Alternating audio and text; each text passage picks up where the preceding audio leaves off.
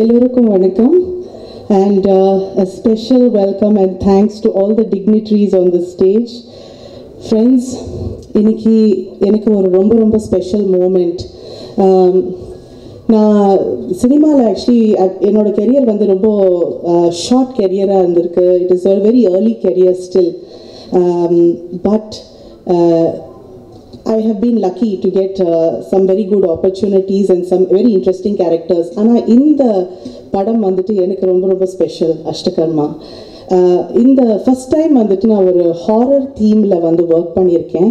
And I really want to thank Misri productions Misri enterprises first of all Misri enterprises இவ்வளோ வருஷமாக தமிழ் சினிமாக்காக you know ஒரு பெரிய பில்லராக இருந்திருக்காங்க. So really amazing I'm so happy and honour to be part of their production I want to thank Kishan ji for making me part of this project and also the director Vijay sir Vijay sir வந்து you know it was all இது வந்து ஒரு very special film because it's a debut for many people நிறைய பேர் வந்துட்டு first time இந்த படத்து இந்த படத்தோட சக்ஸஸில் ரொம்ப எ- அஹ் எதிர்பார்க்குறாங்க the want that success and this is got be a stepping stone for many many people I want to say that although um, you know this is a debut film for Vijay sir, ஒரு ஃப்ரேமில் கூட he was showing so I mean every frame he was showing so much confidence as a director.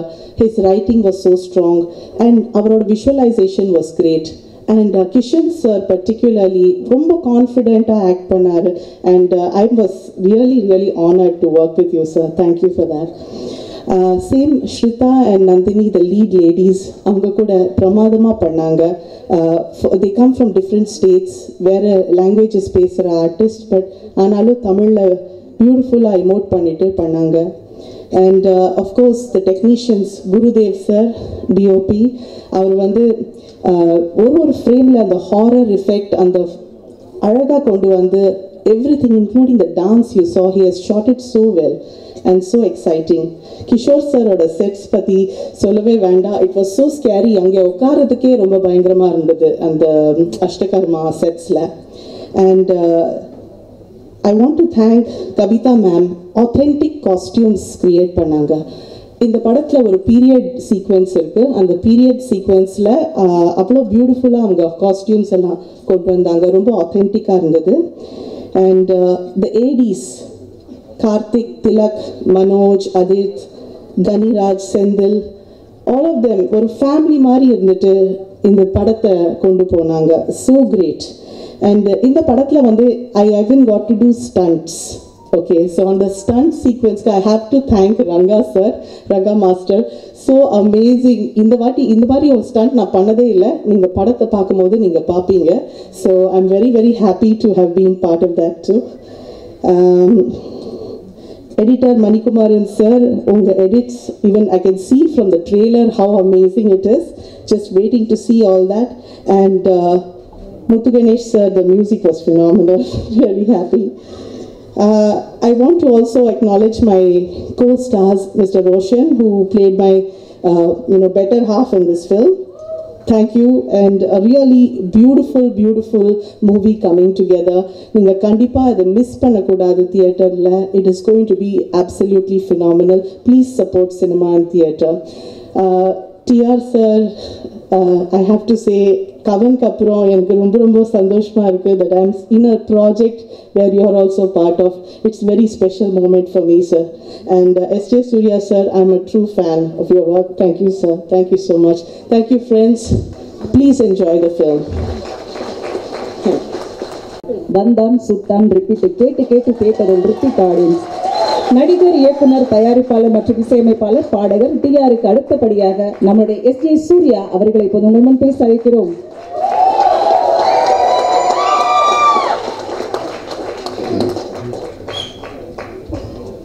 எல்லோருக்கும் வணக்கம். ஒரு மேடையில் இருக்கக்கூடிய TR sir Chandrabajan sir Rajan sir பத்து sir director team actors எல்லாருக்குமே என்னுடைய வாழ்த்துக்கள் வணக்கம். எல்லாத்தையும் சொல்லிக்கிறேன். அஷ்டா கர்மா. இந்த படம் வந்து ஒரு விஜய் அவர் வந்து ஒரு நல்ல கதையை ஒன்று பண்ணி ஒரு ஒரு ஒரு ஸ்பிரிச்சுவல் ட்ரிப்போட அதில் ஒரு த்ரில் ஒன்று மிக்ஸ் பண்ணி ஒரு தடவை நான் மீட் பண்ணியிருக்கேன். இதோடைய போஸ்டர் ஒன்று ரிலீஸ் பண்ணும்போது ஃபஸ்ட் நான் மீட் பண்ணியிருப்போம் கிஷன் சார் கூப்பிட்டு வந்திருந்தார். ரொம்ப என்தூசியாஸ்டிக்கான ஒரு பர்சன் நல்லா போராட்டத்தோட ட்ரெய்லர் பார்க்கும்போதும் சாங்ஸ் பார்க்கும்போதுமே ரொம்ப நல்லா இருக்குது எஸ்பெஷலி டிஆர் சாரோட வாய்ஸ் அதில் இருக்கிற எனர்ஜி வந்து சும்மா சான்ஸே கிடையாது. ரொம்ப பிரமாதமாக பண்ணியிருக்காரு. எல்லாருக்குமே தன்னோட இன்ஸ்டிங்க்டை ஃபாலோ பண்ணி எல்லாருமே போயிட்டுருக்காங்க லைஃப்பில் எல்லாருமே இப்போ வந்து கிஷன் சாரோடைய அந்த அந்த ஃபேமிலியோடைய நீங்கள் அவங்களோட அவங்களுக்கு இருக்க அவங்க எவ்வளோ பணக்காரங்க எவ்வளோ ரிச் அப்படின்னா என்டையர் இண்டஸ்ட்ரிக்கே ஃபீடிங் கொடுக்குற அளவுக்கு அவங்களுக்கு வந்து நல்ல ஒரு பெரிய ஃபேமிலி அப்படி இருந்தும் அவங்க அவங்க அவர்லாம் கிஷன் சார்லாம் உட்காந்து சாப்பிடலாம். அவர்லாம் ஒன்றும் இப்போல்லாம் கஷ்டப்படணும் அப்படிலாம் அவருக்கு ஒன்று ஒன்றுமே கிடையாது அவருக்கு. பட் இருந்தாலும் தன் மனசில் வந்து ஏதோ ஒரு ஒரு ஒரு ஆசையும் ஒரு உத்வேகத்தையும் வைத்துக்கொண்டு தனக்கு உள்ளே இருக்கக்கூடிய ஒரு இன்ஸ்டிங்க்ட் வந்து இன்றைக்கி நான் ஒரு பெரிய ஆக்டர் ஆகணும் அப்படின்ற ஒரு போராட்டத்தை மனசுக்குள்ளே வச்சுக்கிட்டு ஒரு சின்சியராக ரொம்ப கைண்டாக டெடிகேட்டடாக இந்த ஒர்க் பண்ணி இந்த படத்தை கொண்டு வந்திருக்காங்கன்னு அதை நம்ம ரெஸ்பெக்ட் பண்ணியே ஆகணும். இந்த இண்டஸ்ட்ரி யாரையுமே ஒத்துக்கோங்க. அவங்க வந்து பெரிய பணக்காரங்க ஏழை அப்படின்ற வித்தியாசமெல்லாம் அங்கே கிடையாது. ஒரு பஸ் கண்டக்டரை சூப்பர் ஸ்டாராக ஒத்துக்கும். ஒரு பெரிய பணக்காரரை கூட ஒரு பெரிய ஸ்டாராகவும் ஒத்துக்கும். வந்து அங்கே தேவை வந்து அவங்க நல்லா உழைச்சிருக்காங்களா நல்லா நடிச்சிருக்காங்களா எவ்வளோ லவ் அண்ட் கேரோடு அவங்க போராடுறாங்க அப்படின்றத மட்டும்தான் இந்த மக்களும் இந்த இண்டஸ்ட்ரியும் என்றைக்குமே பார்க்கும். அந்த விதத்தில் கிஷன் வந்து போராடி ரொம்ப ஸ்ட்ரகிள் பண்ணி இந்த இவர் ஒரு ஒரு அச்சீவ் பண்ணணும் அப்படின்ற ஒரு ஆதங்கத்தோடையும் ஒரு ஒரு உத்வேகத்தோடையும் ஒரு ஆசையோடும் இந்த ஸ்டெப் எடுத்து வச்சிருக்காரு. அந்த அந்த எண்ணமே அவருக்கு ஒரு நல்ல வாழ்க்கை அமைச்சு தரும். இந்த படம் வெற்றியடையும். இன்னும் நிறையா படங்கள் அவர் நல்லா நிறையா பண்ணி இன்னும் நல்ல ஒரு சிறந்த ஹீரோவாக இந்த இண்டஸ்ட்ரிக்கு அவர் வரணுன்றது என்னுடைய வாழ்த்துக்கள். ஆம், சந்திரபாபு ஜெயின் சார் சுனில் சார் எல்லாருமே வந்து எங்களுக்கு ஒரு ஒரு என்ன சொல்கிறது எங்களை இப்போ எப்பொழுதுமே எங்களை வழியில் வழிநடத்தி கூட்டு போகிறவங்க அப்படிப்பட்ட ஒரு ஃபேமிலியிலேருந்து ஒரு ஹீரோ வர்றதுக்கு எங்களோட சப்போர்ட் என்றைக்குமே இருக்கும். All the very best thank you so much பத்து சார் எல்லாரும் இது வந்திருக்கக்கூடிய ப்ரெஸ் பத்திரிகை நண்பர்களுக்கும் ஊடக நண்பர்களுக்கும் எல்லாருக்குமே என்னுடைய நன்றியும் வணக்கமுங்க. எல்லாருக்கும் நன்றி. தேங்க்யூ தேங்க்யூ சார் விழாவில் அடுத்து நாம் பேச அடிக்கிறோம் மண் வாசனை தொடங்கி டூரிங் டாக்கீஸ் வரை மிகச்சிறந்த பங்களிப்பை தனியல் பத்திரிகை சகோதரர்களுக்கும் இனிய மாலை வணக்கம்.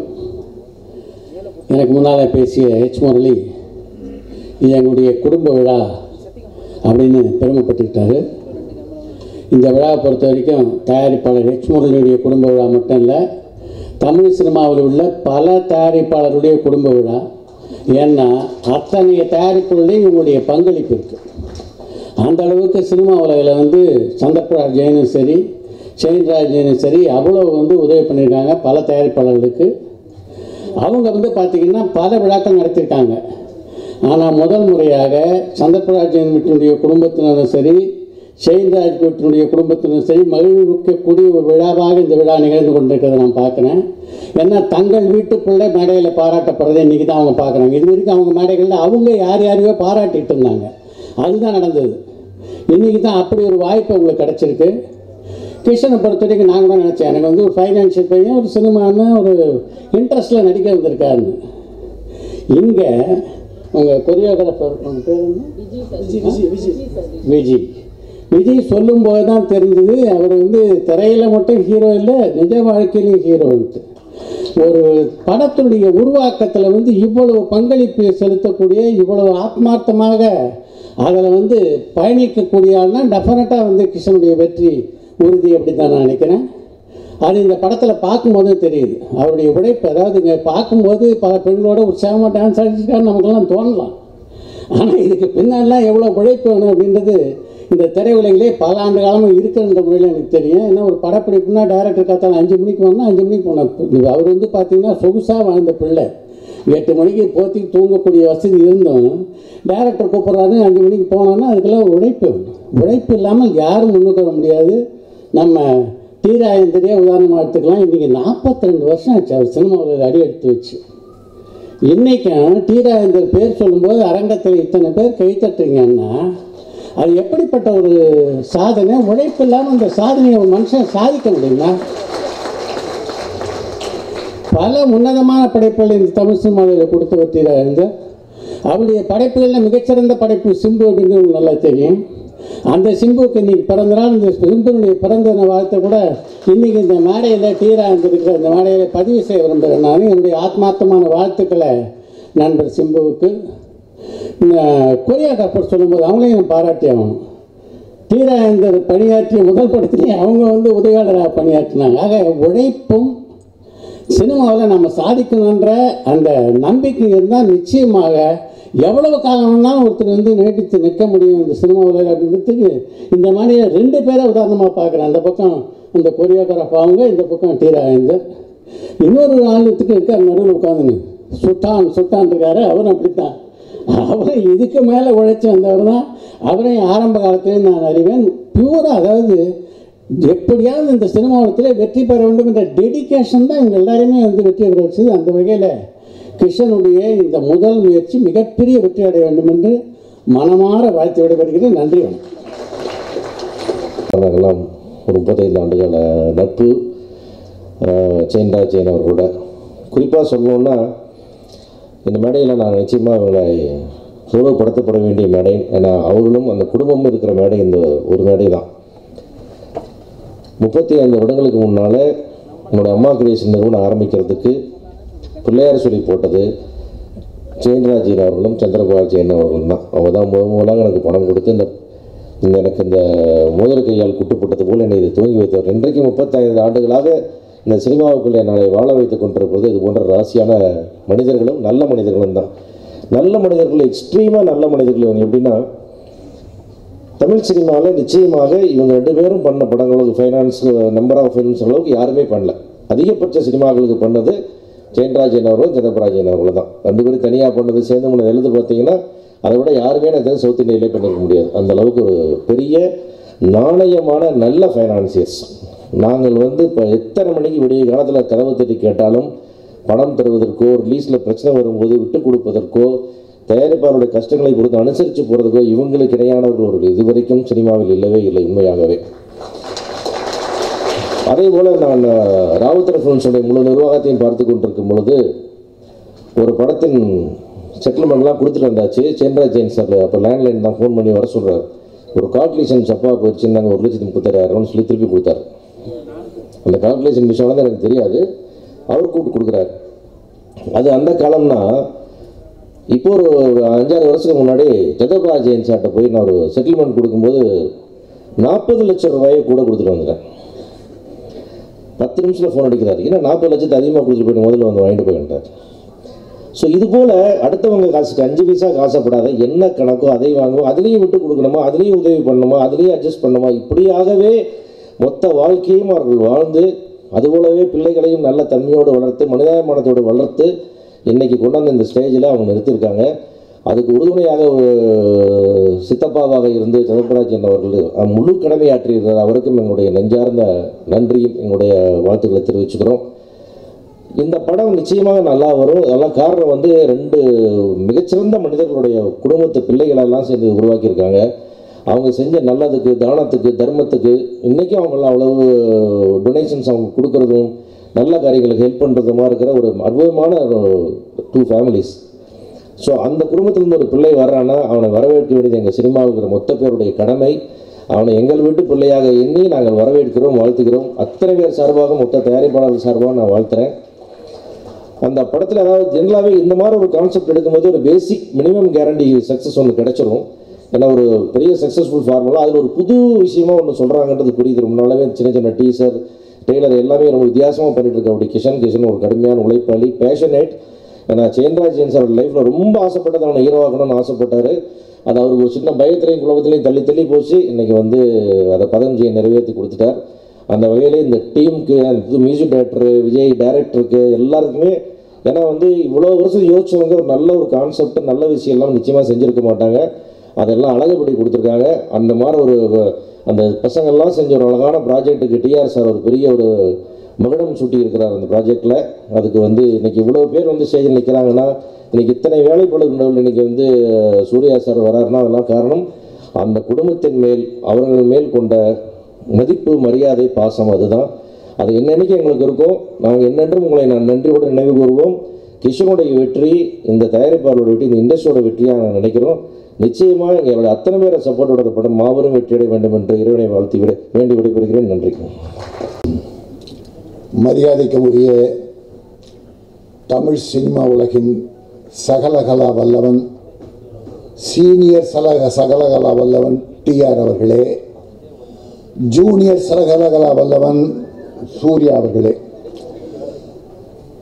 டிஆருக்கு என்னெல்லாம் கேமராவிலேருந்து கதை வசனத்துலேருந்து டைரக்ஷன்லேருந்து எல்லாமே அத்துப்படி பாடுறது. பாருங்கள் இந்த வயசில் போய் என்ன பாட்டு பாடியிருக்கார் பாருங்க.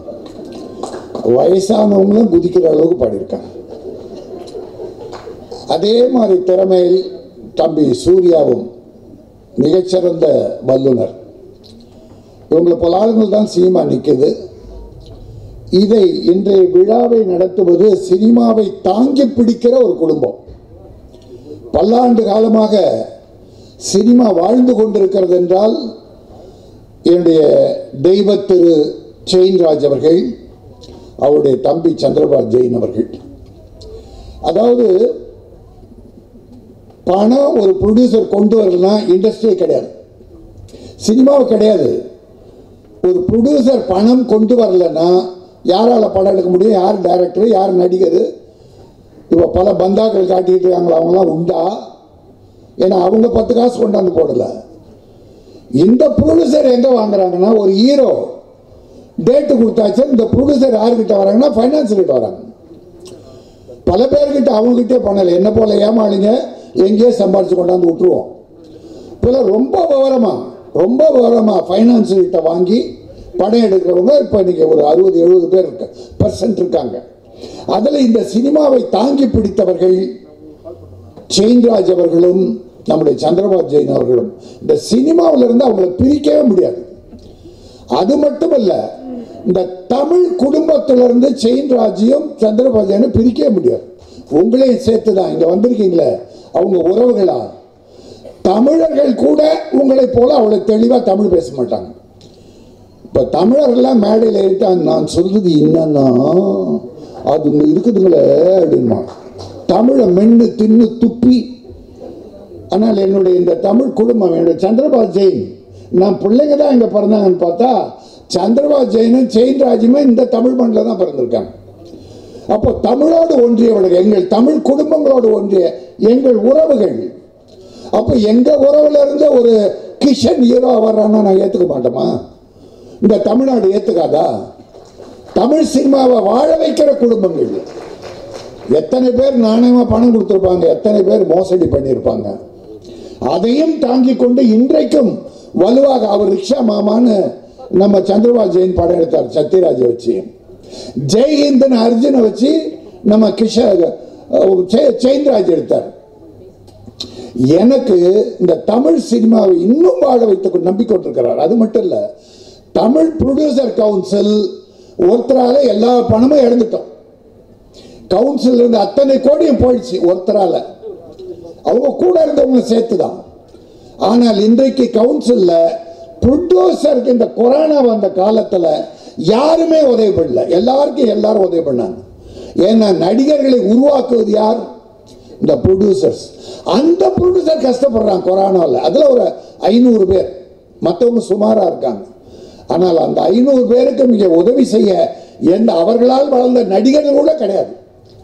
சந்திரபால் ஜெயின்ஜி எங்கள் ப்ரொடியூசர் கவுன்சில் பத்து லட்ச ரூபா கொடுத்து இந்த பொங்கல் தீ- தீபாவளி எங்க உறுப்பினர் கொண்டாடினாங்கன்னா எங்க சந்திரபால் கொடுத்த பணம் நன்கொடை. பத்து லட்ச ரூபா கொடுத்து எல்லாருக்கும் பொருள் வாங்கி கொடுங்க வேட்டி சட்டை புடவை சில தீபாவளி சாமான்கள். அதையெல்லாம் கொடுத்து இன்னும் கொஞ்சம் பேர் கொடுத்துருக்கலாம்.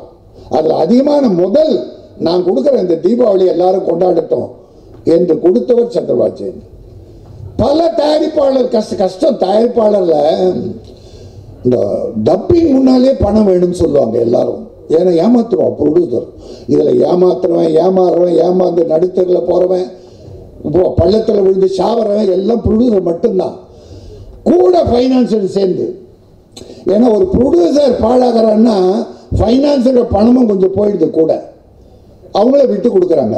இன்னைக்கு நான் அப்படி தெரியாமல் ஃபைனான்ஸ் பண்ணி தான் ஒரு ஆறு ஏழு பேர் நான் ஆப் நான் படம் எடுத்தா எல்லாம் போகுதுன்னு பார்த்து ஃபைனான்ஸ் பண்ணலாம். அந்த சந்திரபாபு ஜெயினை வச்சு கொஞ்சம் ஒரு பத்து கோடி ரூபாய் கிட்ட ஃபைனான்ஸ் கொடுத்தா நல்லவன் ஒரு ஆறு ஏழு அது இப்போ வச்சுக்க மாட்டேன்.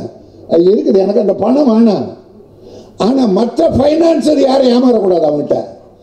சினிமாவில் அவன் காலை வச்சு ஃபைனான்ஸ் ஒருத்தங்கிட்ட போகக்கூடாது. கே ராஜன் யாருன்னு தெரியும் எல்லாருக்கும். பண்ணுறேன் இப்போ உடம்பு சரியில்லை ஒரு வருஷமா. அதனால என் வேலையை காட்டாமல் இருக்கேன். பர்மா பஜார்லேயே போய் கலக்கிட்டு வந்தவன் இந்த கே ராஜன். வேற யார் இந்த கமல் அந்த பேரை சொல்ல வேண்டாம். அவர் நான் அனுப்பலன்ட்டார். அவரால் நான் போய் அங்கே வெட்டு குத்து வாங்கறதில்ல சரி அது வேண்டாம் இப்போ நல்ல விஷயம் நடக்குது அதெல்லாம் வேண்டாம் நமக்கு. இது எனக்கு என் குடும்பம். சரண்ராஜ் சந்திரபுர ஜெயின் செயின்ராஜ் சந்திரபாபு ஜெயின் நம்ம குடும்பம். நீங்கள் தமிழ் குடும்பம் நான் உங்களை தமிழே எல்லோரும் தமிழோடு சேர்த்தே பார்க்கிறேன். ஏனால் தமிழ்நாடு வாழ வேண்டும் என்பதிலே நீங்கள் அக்கறை கொண்டவர்கள். அதில் இந்த சினிமா வாழ வைக்கிறேன் செயின்ராஜ் என் சந்திரபாஸ் குடும்பம் என் சினிமா குடும்பம் என் தமிழ் குடும்பம். என இந்த மண்ணில் பிறந்தவர்கள். அவங்க நல்லா இருக்கணும். அதில் ஒரு ஹீரோ வரான்னா செம்ம ஸ்டைலாக இருக்க கிஷன் ஸ்டைலாக அந்த டான்ஸ் பண்ணும்போது அதுவும் எங்கள் டிஆர் பாடின பாட்டு நல்ல அதாவது நடிப்பு ஈஸியாக பண்ணிடலாம். அழலாம் சிரிக்க வைக்கலாம் எல்லாம் பண்ணலாம். டான்ஸ் பண்ணுறது கஷ்டம். டான்ஸ் எங்கள் ராஜேந்தருக்கு தெரியும் சூர்யாவுக்கு தெரியும். டான்ஸ் பண்ணுறது தான் கஷ்டம். அந்த டான்ஸ் ஈஸியாக வந்துடுச்சு ப்ராக்டிஸ் பண்ணியிருப்பார். அப்புறம் ஹீரோ எல்லா எல்லா அமைப்பும் இருக்குது கிஷன் கிட்ட ஒரு ஹீரோ இப்போ பல ஹீரோவுக்கு அது இல்லை.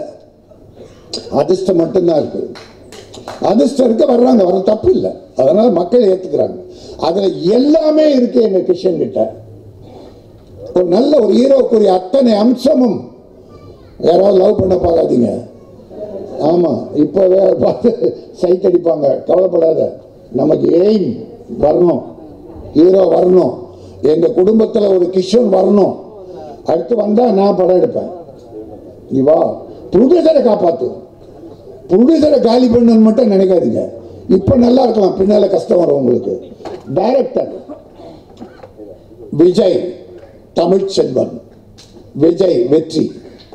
தமிழ் அழகு மிக்கது. தமிழ்தாய் செல்வம் செல்வம் நிறைந்தது. அது அசிஸ்டன்ட் இந்த கிஷன் கிட்ட கிடைச்சிருக்காரு. அப்புறம் கிஷன் பற்றி சொன்னார் அவரே பார்த்தா ஸ்பாட்டில் வேலை பார்த்தாருன்னு. எனக்கு உடனே ஞாபகம் வந்தது ராமா நாயுடு. ராமா நாயுடு படத்தில் ஆக்ட் பண்ணினாங்க ரஜினி சார் ஹீரோ கொடி பறக்குதா? குகநாதன். தனிகாட் ராஜா தனிகாட் ராஜா. குகநாதன் டைரக்ஷனு ரஜினி சார் எல்லா ஆர்டிஸ்டும் இருப்பாங்க ஒரு சாங் எடுக்கிறாங்க சார் ஒரு ஆயிரம் பேர். அந்த ராமநாயுடு ஒரு முதலாளி மாதிரியே இல்லாமல் இந்த ஐநூறு பேர்கிட்ட மம்மிட்டி கொடுக்கணும் ஆயிரம் பேர்கிட்ட கெட்டப்பர் கொடுக்கணும். லேட் ஆகுதுன்னு அவரே வந்து எல்லாருக்கும் எடுத்து கொடுத்தாரு ஒரு ப்ரொடியூசர் அது செய்யணும் நாம. நம்ம இந்த ப்ரொடியூசர் யாரு கையில் நம்பி ஒப்படைக்கூடாது? அதுதான் ஆளுமை திறன் ப்ரொடியூசர் இருந்தால் படம் எடுக்கவா? இல்லைன்னா அவனை ஏமாத்திடுவாங்க. ஒவ்வொன்றுத்திலும் கமிஷன் வைப்பானுங்க.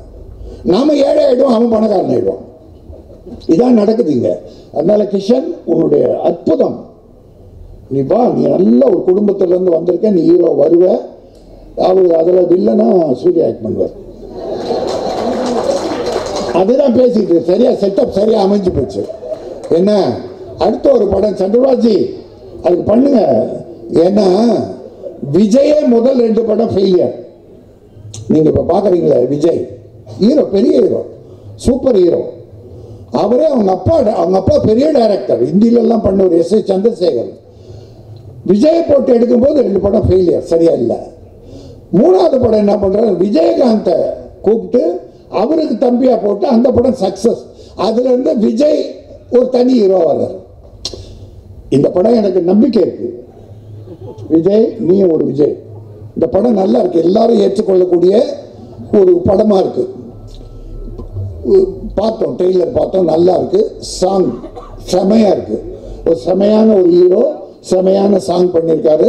அதனால இந்த படம் சக்ஸஸ்ஃபுல் வரும்.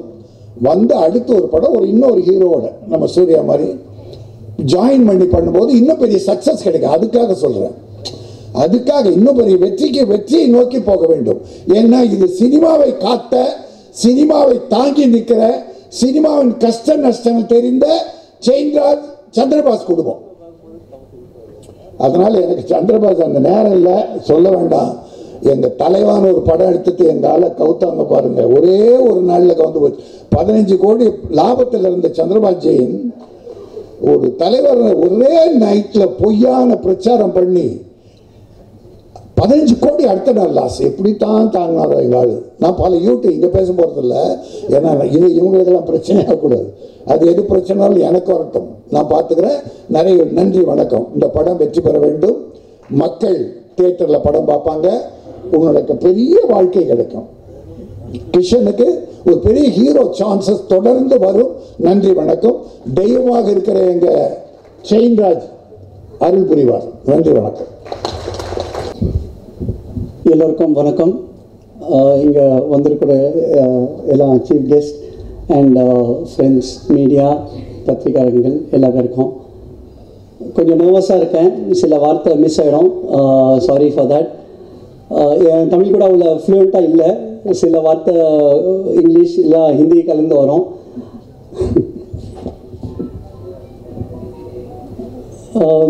எனக்கு வந்து சைல்ட்ஹுட் ட்ரீம் நான் வந்து ஒரு ஆக்டராக வரணும். இங்கே வந்து நிற்கிறதுக்கு நான் வந்து நிறைய நாள் அதை பற்றி யோசிச்சிருக்கேன். நான் சப்கான்ஷியஸ் மைண்டில் எனக்கு நிறைய நாள் இது இந்த டே பற்றி நான் ப்ரிப்பேர் பண்ணியிருக்கேன் என்ன ஆக்சுவலி சொல்லப்போனால் நைன்டி த்ரீ நைன்டி ஃபோர் நாங்கள் அப்பா ஜெயின் படம் எடுக்கும்போது அர்ஜுன் சார் அப்பப்போ மீட் பண்ண போவோம். ஸோ அப்பா வந்து என்ன கூட எடுத்துன்னு போவார். ஸோ அந்த நேரத்தில் அவர் அர்ஜுன் சார் வந்து ஒரு தடவை கேட்டார் என்னோட படத்தில் நடிக்கிறியா நின்று எனக்கு அந்த நேரத்தில் எதுவுமே புரியல. ஆன்னு தலை ஆட்டிட்டேன். அந்த நேரத்தில் எனக்கு ரொம்ப சின்ன வயசு க்யூட்டாக இருப்பேன் நான் கொக்கியாக இருப்பேன். அவர் சொன்ன சரி ஒரு டைலாக் சொல்லுன்னு.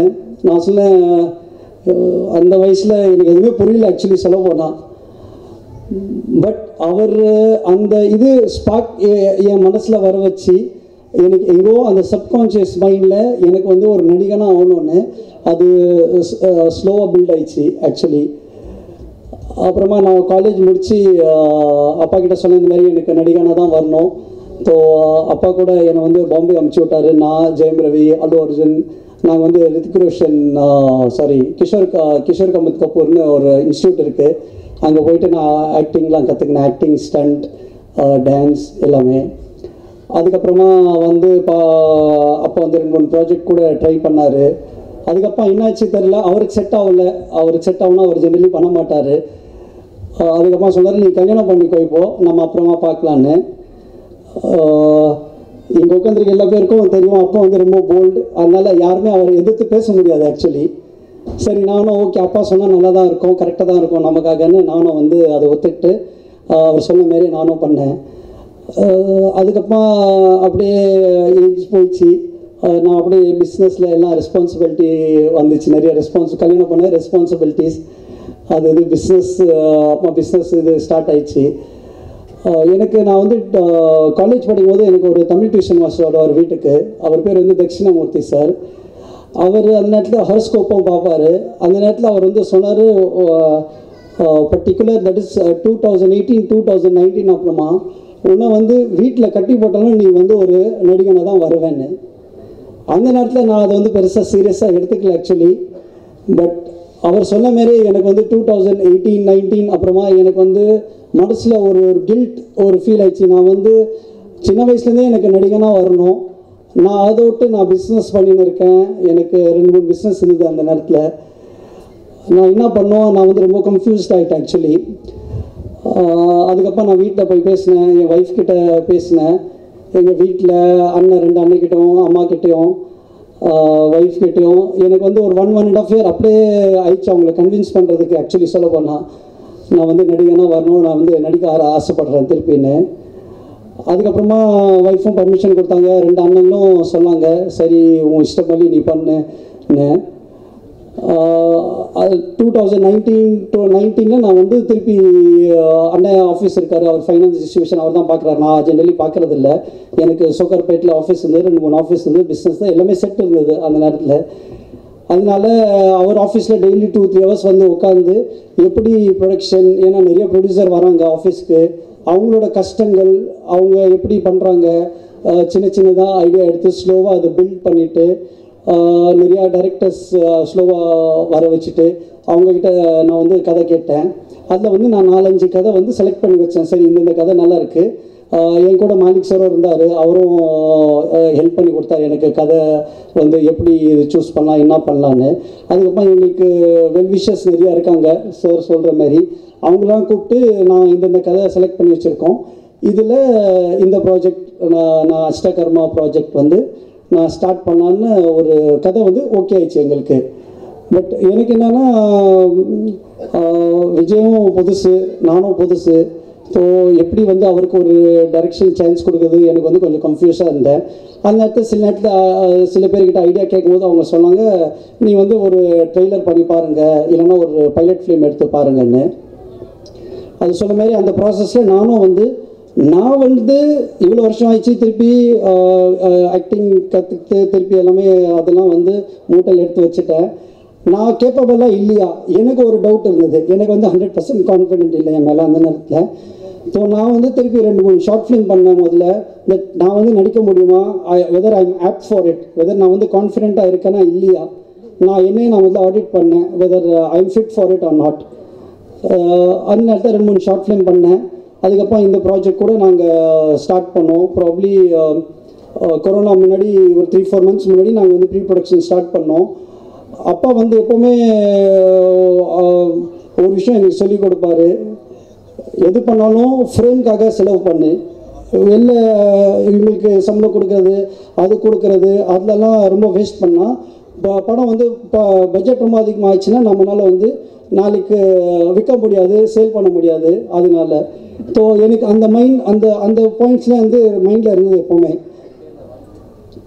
ஸோ இந்த ப்ராஜெக்ட் நாங்கள் அப்படி தான் ஸ்டார்ட் பண்ணேன் டூ டூ தௌசண்ட் மார்ச் டுவெண்ட்டியில் ஃபெப்ரவரி ஃபெப்ரவரி டுவெண்ட்டியில் நாங்கள் ஸ்டார்ட் பண்ணோம் ஷூட்டிங் எல்லாமே என் டேபிளில் முதல்ல எல்லாமே நான் வந்து ரொம்ப என்ன சொல்கிறது வெல் ஆர்கனைஸ் பர்சன் நான் வந்து அப்படியே வந்து எதுவுமே பண்ணுறதில்ல எனக்கு எல்லாமே என் டேபிளில் வேணும். எல்லாமே பர்ஃபெக்ஷன் இருந்தால் தான் நான் வந்து ஷூட்டிங்கே போகணும் டேரக்டருக்கு முதல்ல சொல்லிட்டேன். அதனால் நாங்கள் எல்லாமே நாங்கள் போயிட்டு uh, லொக்கேஷன் ஸ்பாட் எல்லாமே பட்ஜெட் எடுத்து எல்லா பேரும் ஃபிக்ஸ் பண்ணி சரி இதான் எனக்கு பட்ஜெட் இதுக்கு மேலே எனக்கு ஒரு five ten percent might be அதிகமாக வரலாம். இதை வச்சு நான் வந்து ப்ரொடக்ஷன் ஸ்டார்ட் பண்ணேன். அந்த நேரத்தில் எங்களுக்கு என்னென்னா நானும் புதுசு விஜயம் புதுசு. எங்களுக்கு பேலன்ஸ் பண்ணுறதுக்கு யாரோ வேணும். ஸோ டிஓபி எல்லா பேரும் சொல்லுவாங்க DOP is must actually very very important for the director next அவர் தான் இருக்காருன்னு. ஸோ அந்த நேரத்தில் நாங்கள் பேசும்போது ரெண்டு மூணு பேர் எனக்கு ரெஃபர் ரெஃபரன்ஸ் கொடுத்தாங்க. இந்த மாதிரி ஆர்வி குருதேவ் சார். அந்த நேரத்தில் எங்கள் ஆல் இன் விஜய்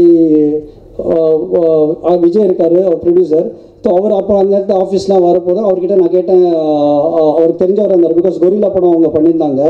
ஸோ அவர் வந்து அவங்கள கூப்பிட்டு எங்களை ஃபிக்ஸ் பண்ணி வச்சார். ஆர்பி குருதேவ் சார் பற்றி சொன்னோன்னா வெரி வெரி பர்ஃபெக்ஷன் ஆக்சுவலி ஒரு ப்ரொடியூசருக்கான ஒரு டிஓபி அவர். ஏன்னா எக்ஸ்ட்ரா லைட்டு எத்தனை வந்து லிஸ்ட்டு கொடுத்து அங்கே சும்மா லைட் வேஸ்ட்டாக கிடக்கிறது அந்த மாதிரிலாம் இல்லை. எவ்வளோ லைட் வேணுமோ அது அவ்வளோதான் கொடுப்பார் அவர்.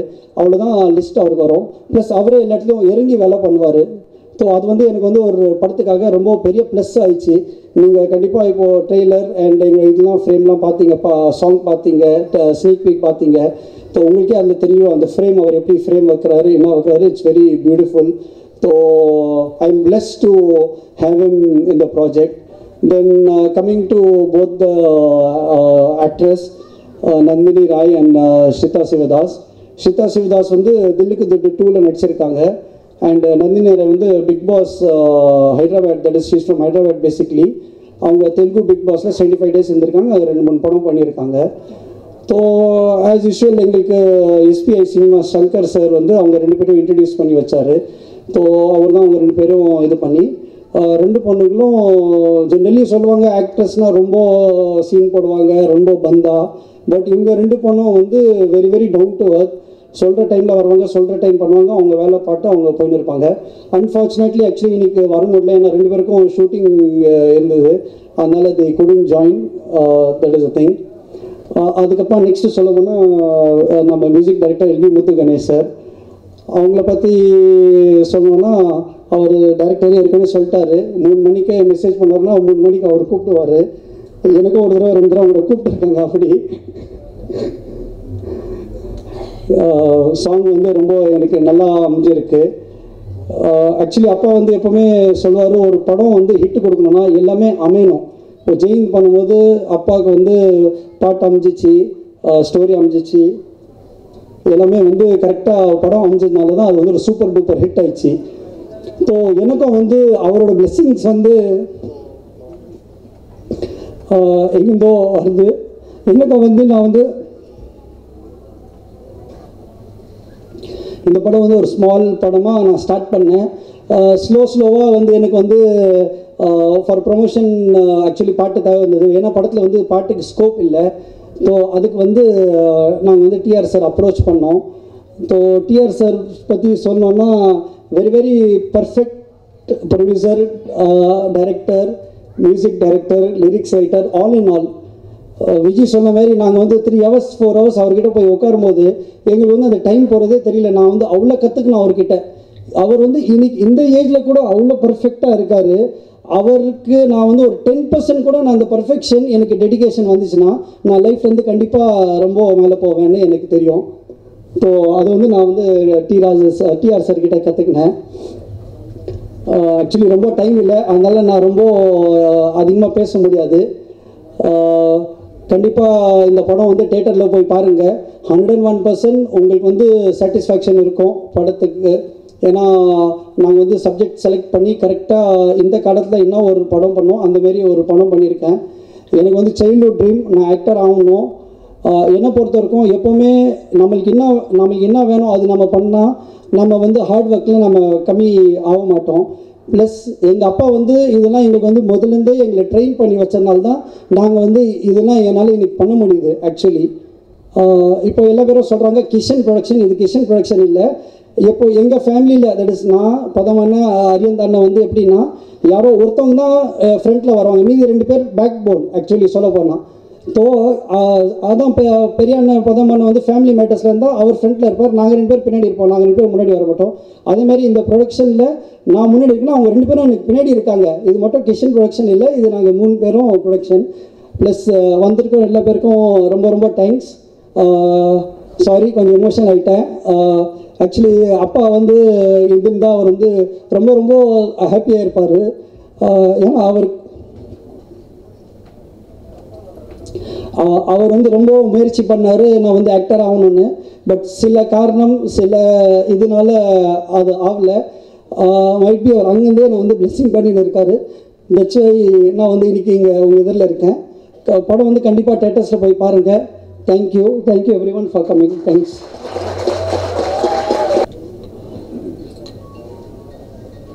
வடபழனியிலே கோடம்பாக்கத்திலே கொடிகட்டி பறந்து பாரம்பரியமிக்க கமலா திரையரங்கத்திலே கலையை வளர்த்த ஒரு அரங்கத்திலே அஷ்டகர்மா படத்தின்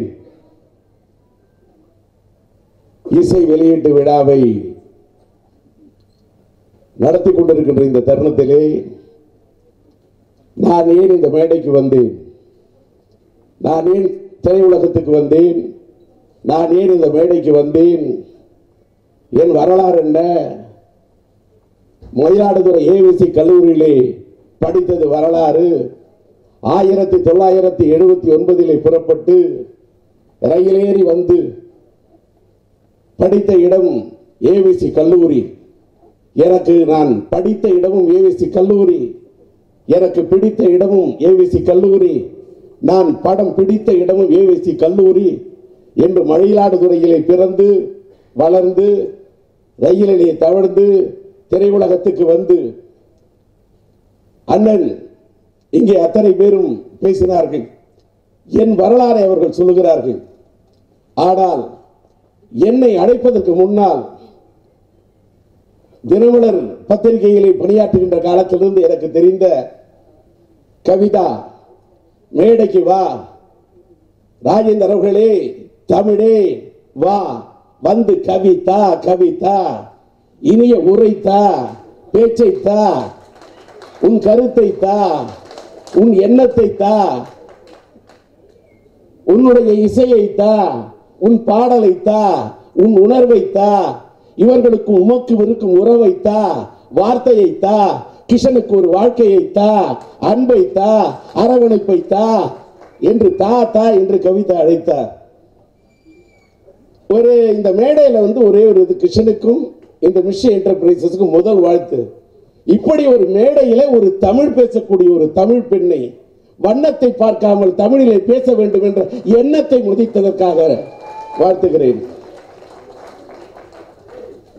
முதல்ல எனக்கு ஒரு நான் இந்த மேடைகளை பேசுவதற்கு எனக்கு கொஞ்சம் வருத்தம். ஆனால் பேசுவதற்கு இருக்கிறது ஒரு பொருத்தம். இதுதான் கடைசியில் ஒரு திருத்தம். இந்த விழாவிலே நான் வர மறுத்தேன். தப்பா இருக்கணும். தப்பா நினைக்காதீங்க. நான் எந்த ஒளிநாடா வெளியீட்டு விழாவுக்கும் இசை வெளியீட்டு விழாவுக்கும் செல்வதில்லை என்று முடிவெடுத்து விட்டேன். என்னுடைய இணைய நண்பர் பி டி செல்லகுமார் நெல்லை சீமையில் இருந்து புறப்பட்டு வந்த ஒரு தமிழ் புலி. அவருக்காக நம்முடைய இளைய தளபதி விஜய் அவர்கள் நடித்த புலி படத்தின் திரைப்பட அந்த இசை வெளியீட்டு விழாவிலே பேசினேன். அதற்கு பிறகு நான் பேசுவதை தவிர்க்கிறேன். ஏன்னு கேட்டா நம்ம பேசுனா சிலருக்கு வருது பயம். சிலருக்கு வருது மக்களுக்கு வருதுங்கிறது பயம். பேச்சில் இருக்கிறது நயம். அடுத்தவருக்கு வருது பயம். ஆனால் சிலருக்கு வருகிறது பயம். ஏன் அப்படிப்பட்டதை இடத்துக்கு போகணும்? போகணும். எனக்கு பேச தெரியுன்ற பேச்செல்லாம் இன்னும் நான் காட்டுற இடத்துல இல்லை. போரும் நான் எந்த மேடைக்கும் போக விரும்பல. நான் கிருஷ்ணன்கிட்ட சொன்னேன். நீங்கள் வாழ்த்துக்கள். என்னை பாட வச்சிங்க. எங்கள் எங்கள் என் எங்கள் வீட்டு பசங்க. பாட சொன்னா பாடினேன். உங்களுக்காக பாடினேன். விட்டு எழுத சொன்னா எழுதுனேன் விட்டுருங்க நான் வந்து அந்த இந்த இந்த படத்தை பாடுறதுக்கு காரணம்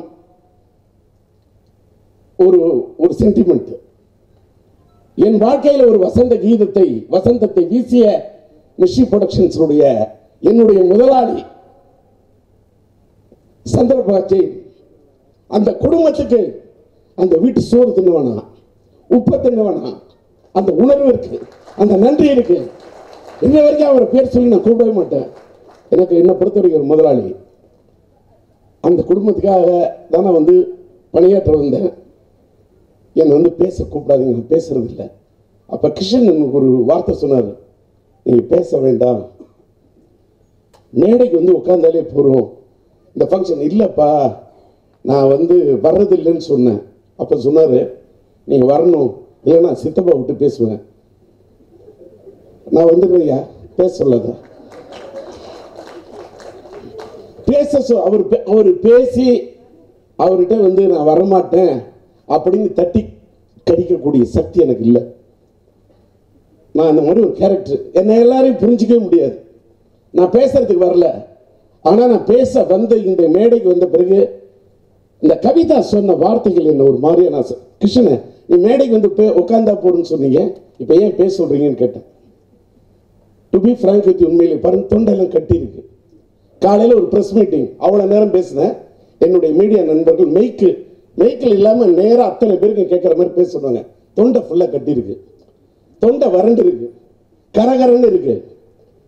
அடுத்து என் பையனோட பிறந்த நாளைக்கு ரத்த ரத்த தான ஒரு முகாம் அதில் பேசணும் பேசினேன். மெய்க்கு இல்லாமல் பேசுகிறேன் ஆனால் இங்கே மெய்க்கில் பேசணும். நான் இன்னைக்கு ஈவினிங் பேச போகிறதில்ல சும்மா தானே வரப்போகிறோம் நம்ம முதலாளி வீட்டு ஃபங்க்ஷனுக்கு போகிறோன்னு தான் வந்தேன். வார்த்தை இப்படி சொல்லிட்டு இன்னைக்கு மேடையில் பேசணுன்னு கொஞ்சம் ஒரு மாதிரி ஆயிடுச்சு. கொஞ்சம் நெகிழ்ந்துட்டேன். ஆனால் இந்த மேடைக்கு வந்தது நான் பேசுறதை விட யார் யார் என்ன பேசணுமோ எனக்கு முன்னாடி அங்கே என்னுடைய வயதில் மூத்தவர் அண்ணன் அன்புக்குரிய அண்ணன் கே ராஜன். சமயத்தில் கனிவாடவர் சமயத்தில் துணிவாடவர் சமயத்தில் பணிவாடவர் அனைத்தும் நிறைந்தவர். அவர் தலை நிறை அவர் தலையை பார்த்தால் நிறைத்திருக்கும். அது நிறை அது அனுபவத்தின் முத்திரை. அவர் அத்தனை ஆண்டு காலமாக பார்த்தது இந்த வெண்திரை. அப்படிப்பட்ட அண்ணன் எனக்கு முன்னாடி பேசிட்டாரு. அதே மாதிரி இதுக்கு இந்த விழாவில் பார்த்தீங்கன்னா நம்முடைய எங்க முதலாளி தமிழ் திரைப்பட தயாரிப்பாளர் சங்கத்தின் பொருளாளர். தமிழ் திரைப்பட தயாரிப்பாளர் சங்கத்துக்கு இப்பொழுது பொருளாளர். தமிழ் திரையுலகத்துக்கு பல தயாரிப்பாளர்களுக்கு அவர் பினான்ஸை அள்ளி வழங்கிய ஒரு பொருளாளர். பொருளாளர் என்று மட்டும் அவரை பார்க்க மாட்டேன். அவரை நான் அருளாளராக பார்த்திருக்கின்றேன். அப்படிப்பட்ட மனிதர் நல்ல பண்பான மனிதர் அந்த குடும்பத்தை வாழ்த்த அவருடைய சகோதரர் ஜெயின்ராஜ் ஜெயின் மறைந்து விட்டார். தெய்வ திரு என்று பெயரை எடுத்து விட்டார் அமரராகி விட்டார். ஆனால் இந்த படமும் அஷ்டகர்மா. ஆனால் இங்க என்ன நடக்கிறது என்பதை கேட்டுக்கொண்டிருக்கும் அந்த ஆன்மா. அவருக்கு பிடித்ததெல்லாம் சினிமா. இதுதான் உண்மை. சும்மா ராஜேந்தர் வந்து அடுக்கு மொழியில பேசுறதுக்கு அஷ்ட கர்மா அவருடைய ஆன்மா இது சினிமா. மேட்ரு இல்ல. மா மா மா. மனுஷன் பிறக்கும் போதே கத்துறது மா அம்மா. அது இந்தியில மா. மா. அது இந்தியில மாடு கூட பிறந்தா கன்று கூட மா. மா. அது கூட கத்துது மா என்ற வார்த்தையில ஒரு விஷயம் இருக்கு. அப்படிப்பட்ட அஷ்டகர்மா அவருடைய ஆன்மா யாரெல்லாம் வாழ்த்துறதை விட ஜெயந்தராஜன் ஒரு நான் வேணா ஒரு பையனை இந்த உலகத்துல குழந்தைங்களை வாழ்த்துறது குழந்தைங்களை எடுத்து ஆளாக்குறது ரெண்டு. கடவுள்னு சொல்றான். கடவுளை எவன்டா பார்த்தான்?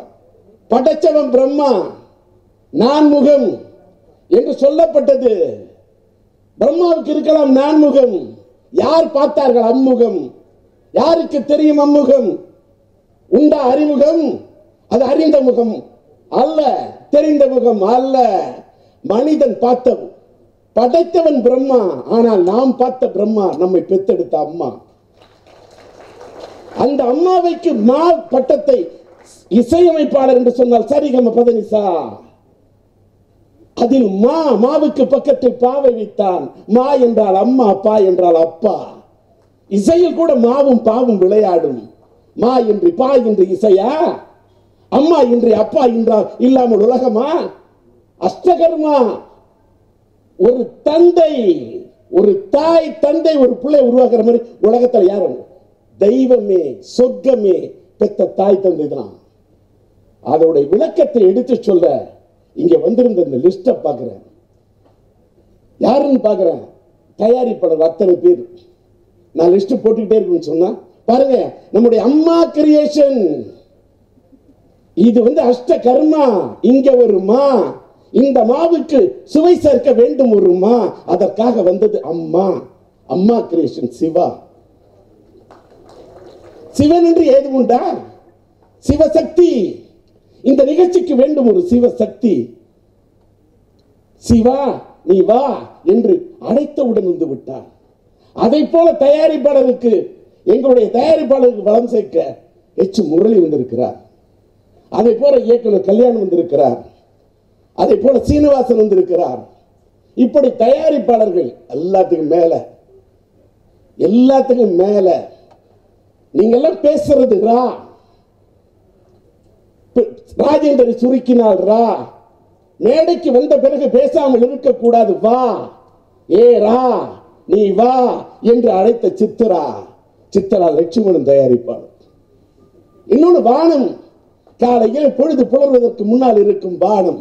அந்த வானத்தில் கதிர் வேண்டும் என்றால் ஒளி வேண்டும் என்றால் வர வேண்டும். சூரியன் ஏ சூர்யா வா என்று வந்து அழைத்தவுடன் வந்த என் இனிய நண்பன் எஸ் ஜே சூர்யா.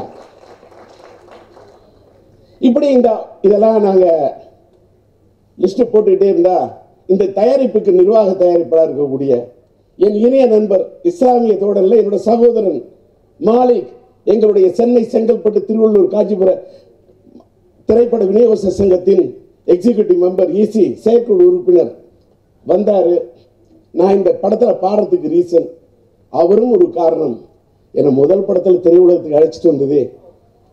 இன்ஷா அல்லாஹ் பிஸ்மில்லா அல்ஹம்துலில்லாஹ் அல்லாஹ் அக்பர் லாஹிரா இலாஹ முகமது முஹம்மது பிஸ்மில்லா ஹிர் ரஹ்மான் ரஹீம் ஈஎம் இப்ராஹிம் அவருடைய அன்பால் ஆதரவோட திரையுலகத்துக்கு வந்தேன் மாலைக்கு வந்து படத்தில் பாடணும் யார் படம்ப்பா என் முதலாளி படம். முதலாளின்ற வார்த்தை. விசுவாசத்தின் உருவம். என் தம்பி மாலிக் அந்த கம்பெனி பேர் சொன்னார். எனக்கு சோறு போட்ட கம்பெனி மிஷி ப்ரொடக்ஷன்ஸ். பார்த்தீங்களா சும்மா இதெல்லாம் உணர்வுலாம் சும்மா இது இல்லை. பானை நான் இப்போல்லாம் பாடுறதில்ல நான் ரொம்ப சம்பளம் வாங்குகிறேன் அதிக சம்பளம் வாங்குறேன். என் சம்பளம் உங்களால் கொடுக்க முடியாது. அது இல்லை. இந்த பாட்டை நீங்கள் தான் பாடணும்னு இந்த இசையமைப்பாட சொல்கிறாங்க யார் ஏன் பாடுறது? இந்த பசங்க தான் சார். அப்படின்னா அப்படி உள்ளேருந்து வெளியில் ரெண்டு பசங்க வரான் இந்த வ- முத்துவும் நம்ம கணேஷும். சரி இது ரொம்ப ஹை பிக்சர் ஏன்டா நான் தான் பண்ணுன்றீங்க டியூன் என்ன சொல்லு? பாடிக்கலாம் அப்படின்னா நான் இப்போலாம் ரொம்ப சம்பளம் வாங்குறேன்னு அது சொன்னால் அவர் அங்கிள் ரொம்ப சம்பளம் கட்டி நிறைய பாட மாட்டேங்கிறாரு. அவர் இந்த மீது ஃபங்க்ஷனுக்கு வரல. அவரை பாட வைக்கிறது எனக்கு தெரியாது. எனக்கு அவர் பாடினா இந்த பாட்டு வைக்கணும். ஏன்னா இந்த பாட்டு வேணாம்னு கிருஷ்ணன் சொல்றாரு. அந்த டைரக்டர் விஜய் சொல்றாரு. விஜய் தமிழ் செல்வன் சொல்றாரு. எங்களுக்கு பாடியே கொடுக்கணும். என்ன சம்பளம் அப்படின்னு சொன்னேன். எங்களால் கொடுக்கறத நீங்கள் வாங்கிக்கணும் அப்படின்னு சொல்லக்குள்ள கம்பெனி வந்து பார்த்தா மிஸ்ட்ரி ப்ரொடக்ஷன்ஸ் அவங்களுடைய குடும்பத்தில் நம்ம மிஸ்ட்ரி என்டர்பிரைசஸ் நீங்கள் வேணால் அவரே கேளுங்க கிருஷ்ணன். எனக்கு என்னப்பா கொடுக்குன்னு நினைக்கிறீங்க? அப்படின்னு. நாங்கள் என்ன நீங்கள் நான் வாயை திறந்து எனக்கு அவர்கிட்ட நான் சம்பளம் கேட்டு எனக்கு இவ்வளோதான் வேணும்னு கேட்டேனா? பாருங்க. கேட்கல நான் ஒரே ஒரு கோரிக்கை தான் வச்சேன். நான் பாடுறேன். நீ என்ன வேணா கொடுங்க. ஏன்னா என்னுடைய என்னை ஒரு காலத்தில் என் மகன் சிலம்பரசன் இன்றைக்கு வளர்ந்து மாநாடுல நடிச்சிருக்கலாம். மாநாடு வரைக்கும் வளர்ந்துருக்கலாம்.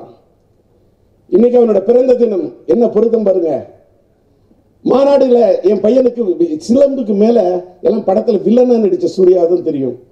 வில்லனா நடிக்கிறதுக்கு முன்னாடியே சூர்யாவுக்கும் சிம்புக்கும் என்ன நட்பு என்ன கொண்டிதுன்னு தெரியும். இந்த படத்தோட லயனை கேட்டதுமே இது இப்படிதான் இருக்கும்னு சூர்யா மாதிரி என் பையன் நடிச்சுக்கிட்டே ப- காட்டுவான்.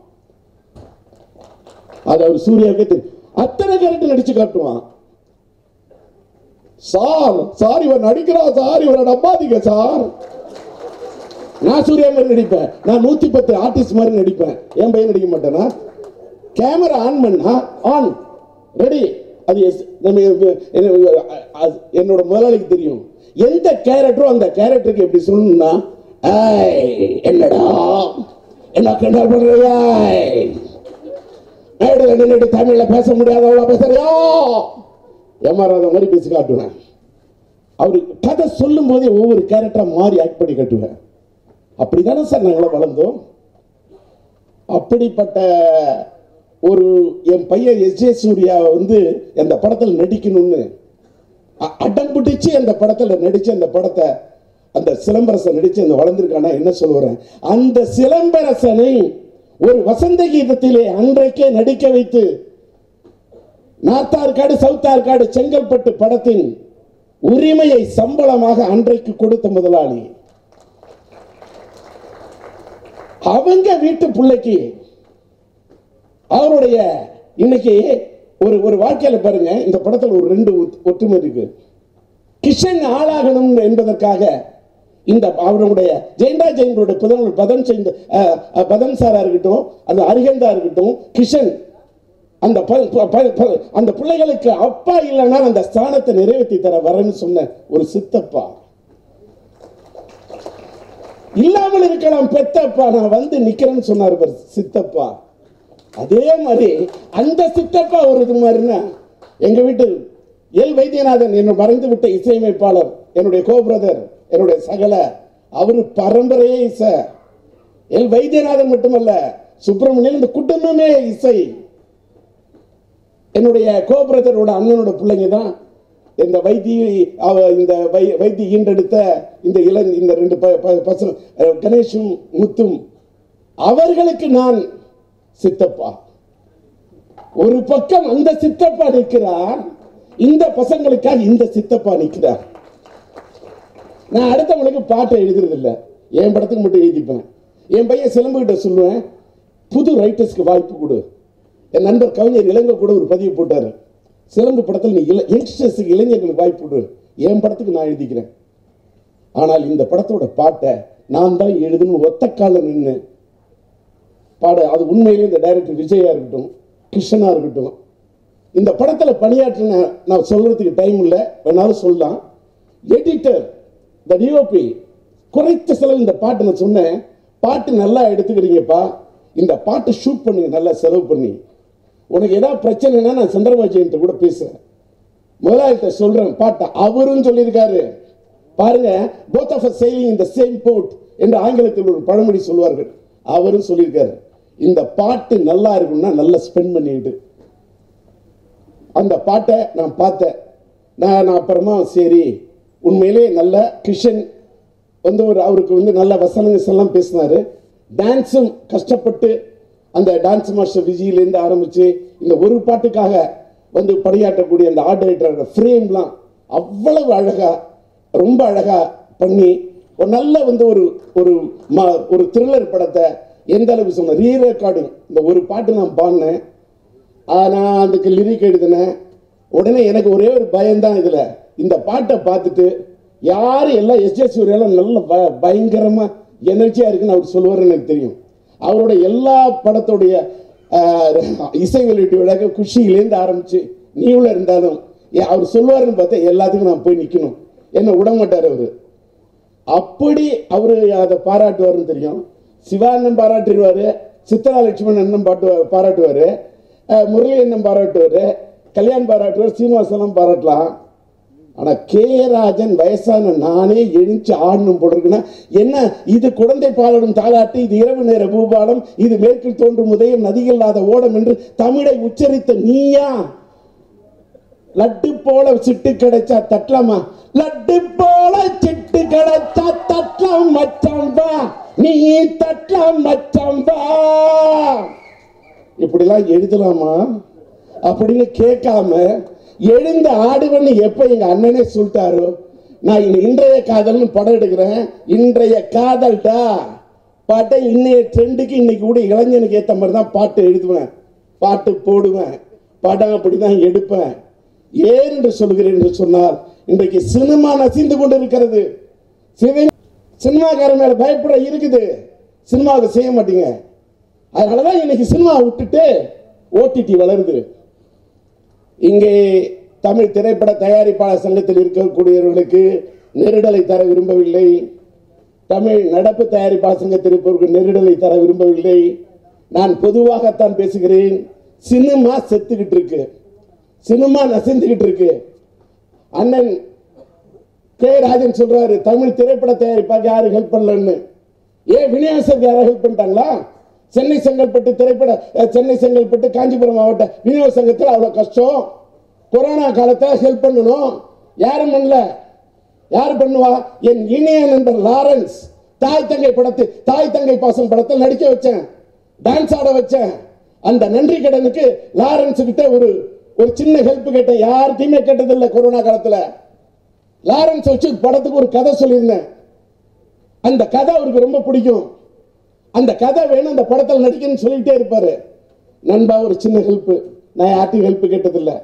நீ அந்த கதை வேணும்னு கேட்டில்ல. நான் ஒரு படம் மியூசிக் பண்ணி நடிக்கணும் டான்ஸ் ஆடணும்னு சொன்னில்ல. நம்ம பின்னாடி பேசிக்கலாம். என்னுடைய திரைப்பட விநியோக சங்கம் இன்னைக்கு கொரோனால கஷ்டப்படுது. எனக்கு ஒரு ஃபண்டு வேணும்னு கேட்டேன் நிதி வேணும்னு. உடனே மனசு வந்து உடனே கொடுத்தான் என் நண்பர். நன்றியா? நன்றி.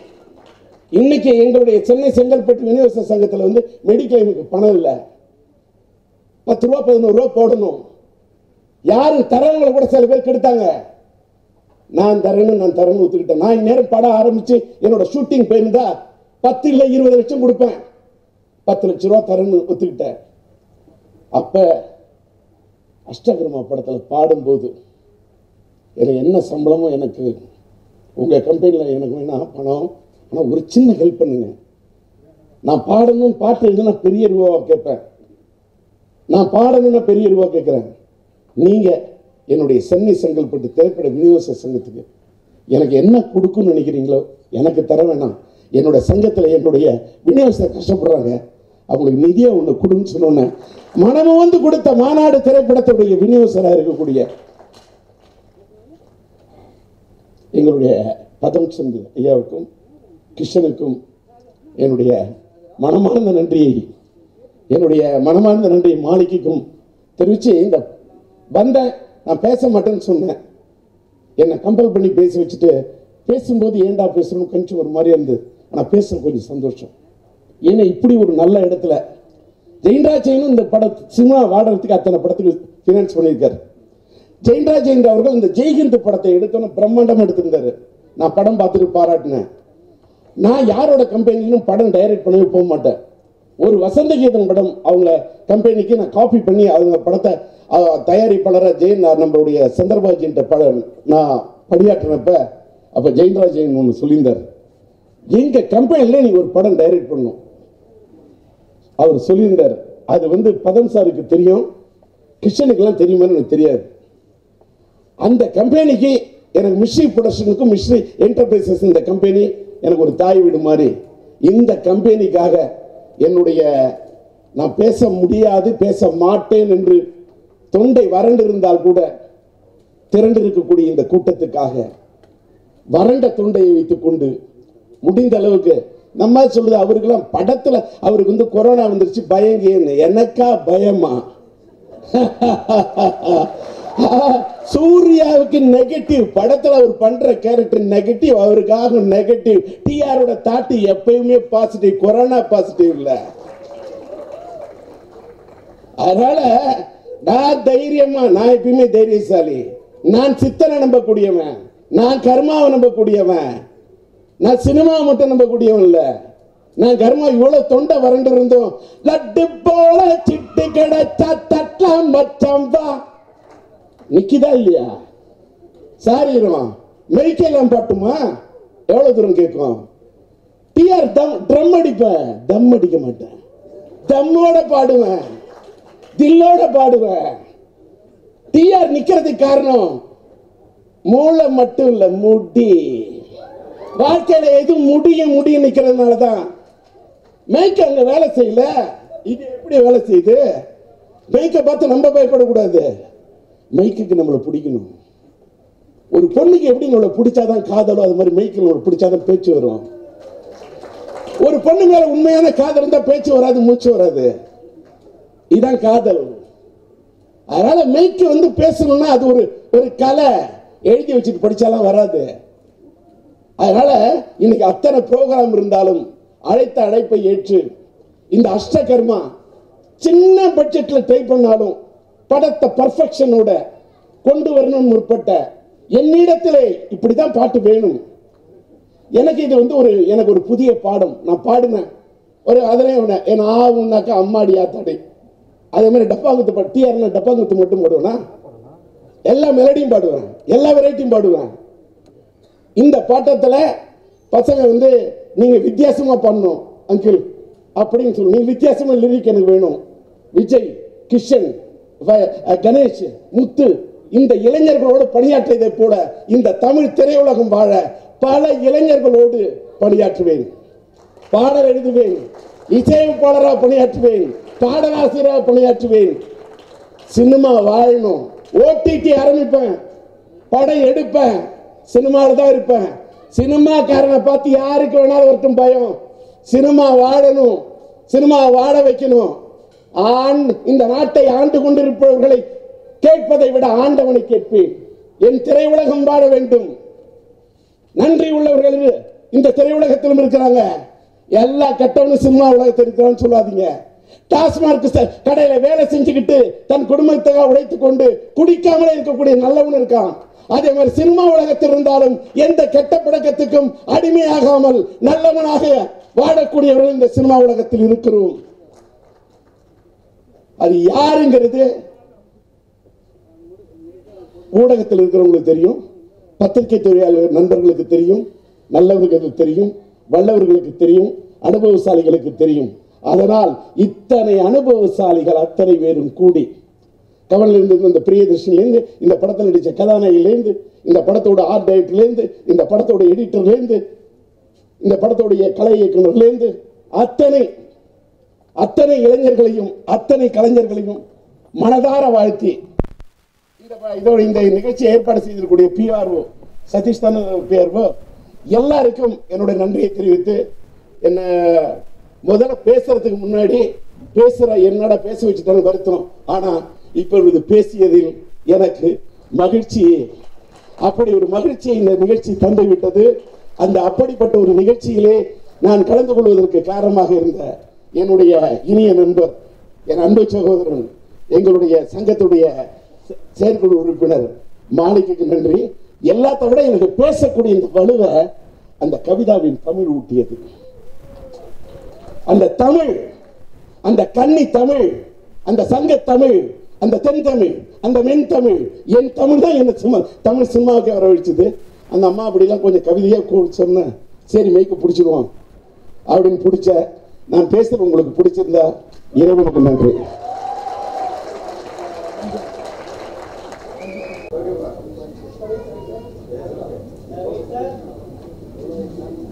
ஓ, இல்லைங்க.